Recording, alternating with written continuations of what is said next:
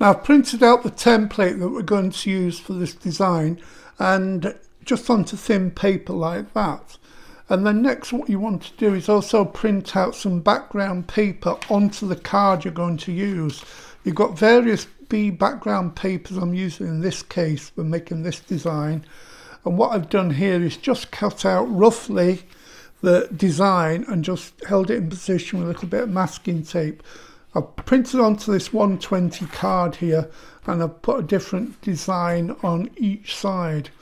Now all you have to do then is you're going to fold this here so you do a, a crease down the middle. You can decide whichever side you want. You can do it this way.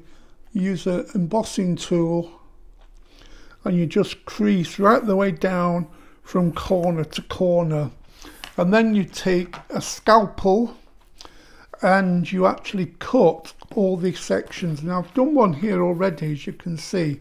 I'll just put that to one side. There is the design which is cut out. All these sections here I've cut individually so it's just one side. Forget that side, just do one side.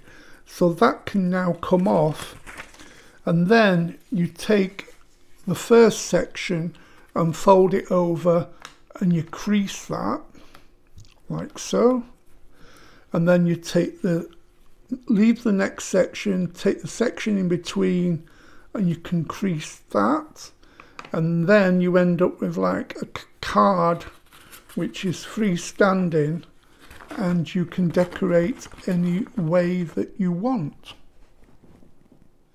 Now I'm going to decorate this card with the 3D bee so you print out the pages that you need and just cut them out and layer them using foam tape and you get a nice 3D bee like that.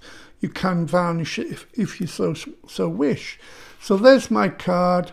I'm just going to stick that bee onto there and you can open it up and stand it up and you've got your bee card like that, but you'll see it better if I lay it down.